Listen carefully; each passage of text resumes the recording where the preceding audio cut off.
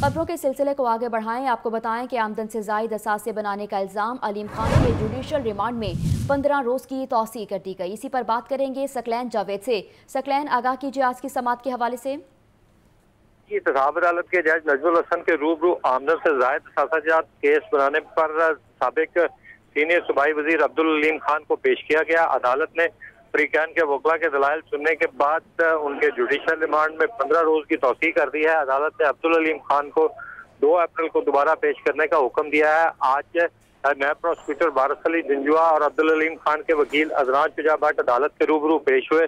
تو عدالت نے نیب حکام سے استفسار کیا کہ ان کا ریفرنس کب دائر کر رہے ہیں، جس پر نیب پروسیکیوٹر بارس علی جنجوا نے بتایا کہ جیسے ہی جلد سے جلد ممکن ہو سکا ان کی حتمی رپورٹ ہم پہلے پیش کریں گے، اس کے بعد پھر ریفرنس پیش کیا جائے گا، جس پر ادنان شجا بٹ سے عدالت نے پوچھا، تو انہوں نے کہا، یہ ہمارے لیے فائدہ مند ہے، اگر حتمی رپورٹ پہلے آ جائے تو یہ ہمارے لیے بھی بہتر ہوگا، جس پر عدالت نے ان نیب حکام کو جلد سے جلد حتمی رپورٹ پیش کرنے کی ہدایت کرتے ہوئے سماعت دو مارچ دو اپریل تک ملتوی کر دی عدالت نے جوڈیشل ریمانڈ میں پندرہ روز کی توسیع کرتے ہوئے عبدالعلیم خان کو دو اپریل کو دوبارہ پیش کرنے کا حکم دیا ہے۔